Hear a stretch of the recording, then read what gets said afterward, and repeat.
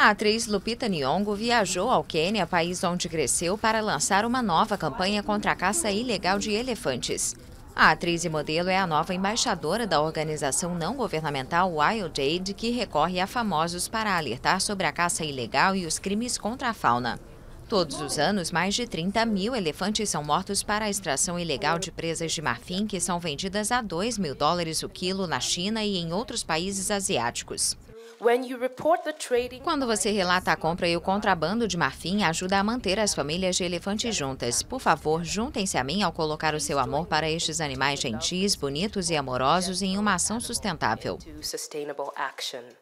A atriz de 32 anos, vencedora do Oscar de melhor atriz coadjuvante por 12 anos de escravidão, afirmou que a visita a um parque nacional no Quênia mudou sua vida. A atriz nasceu no México, mas é filha de quenianos.